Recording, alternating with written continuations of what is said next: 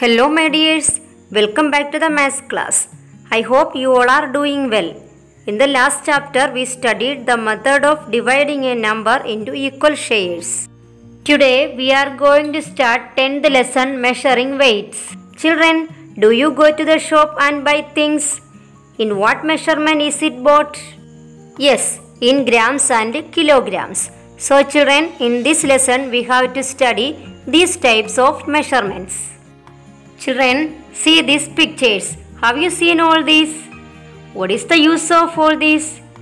Yes, by using these, we can measure the weight of things. Children, which of these can be used to find your weight? Yes, by using this, we can measure our weight. Usually, we use this type of common balance to measure the weight of things. We use this to compare two objects. Children, look here. These are called standard weights approved by the government. Children, we measure the weight of an object or our own weight in kilograms or grams. Kilograms are denoted by kg and grams are denoted by g. These type of metallic weights are available in different weights like 50 grams, 100 grams, 200 grams, 1 kilogram, 2 kilogram, 5 kilogram, 10 kilogram, etc. Children, do you know how to measure the weight? We keep the things that we wish to buy on one side and the required quantity of weight on the other side and balance them equally. Children, see the first activity. Onam. Rice for Onam to be given tomorrow. 5 kilograms for each. Our class has 40 children. How many kilograms of rice is needed? Children, listen to the first question. How much rice is needed for your class? See children, how many children are there in all? Yes, 40 children. How much rice is given for each child? Yes, 5 kilograms. So children, for one child, 5 kilograms of rice is needed. Then how much rice is needed for 40 children? Yes, 40 times 5 kilograms.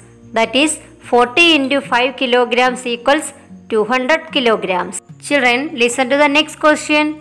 If there is 50 kilograms of rice in a sack, how many sacks are needed for your class? Children, you know, in your class 200 kilograms of rice is needed.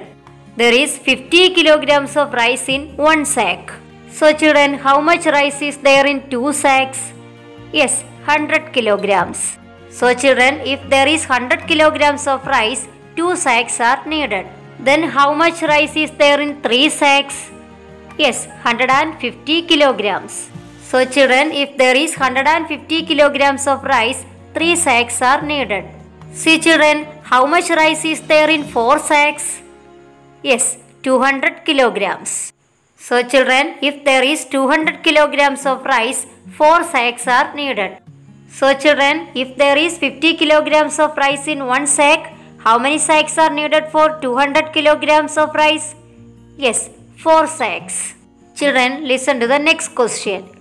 What if there is 100 kilograms in a sack? That means if there is 100 kilograms of rice in a sack, how many sacks are needed for 200 kilograms of rice? See children, in one sack there is 100 kilograms of rice. Then in two sacks, yes, 200 kilograms of rice.